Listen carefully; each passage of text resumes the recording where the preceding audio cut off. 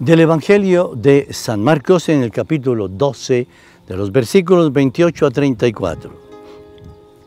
En aquel tiempo, uno de los escribas se acercó a Jesús y le preguntó, ¿cuál es el primero de todos los mandamientos?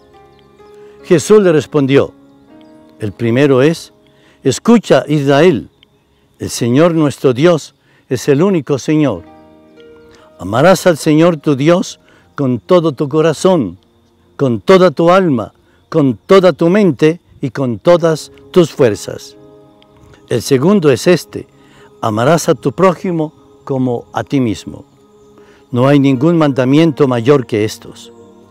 El escriba replicó, muy bien, maestro, tiene razón cuando dices que el Señor es único y que no hay otro fuera de Él y amarlo con todo el corazón y con toda el alma, con todas las fuerzas, y amar al prójimo como a uno mismo, vale más que todos los holocaustos y sacrificios.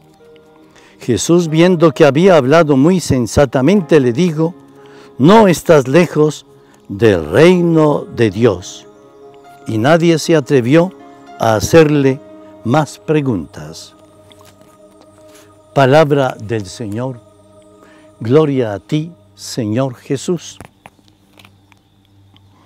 Me viene al recuerdo una mamá y un papá.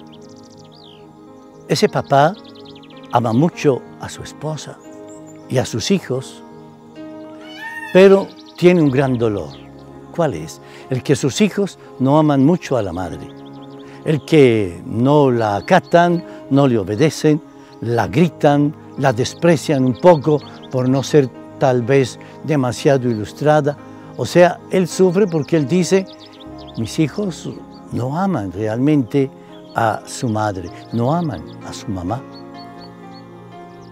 Esto me refleja el Evangelio de hoy. Dios nos ha creado, Él es nuestro Padre y todos nosotros somos sus hijos, pero por eso a Él no le gusta cuando nosotros no nos amamos, cuando nos odiamos. Tú puedes pensar lo que Dios pensará hoy, cuando estamos viendo que matamos a hermanos, que matamos a otra persona, que nos matamos con un odio que es realmente infernal.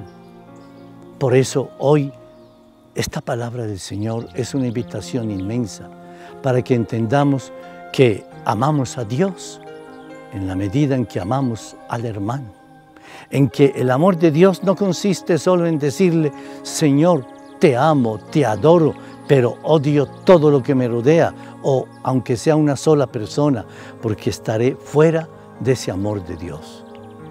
Señor, enséñanos a manifestar el amor a ti en el amor a nuestros hermanos.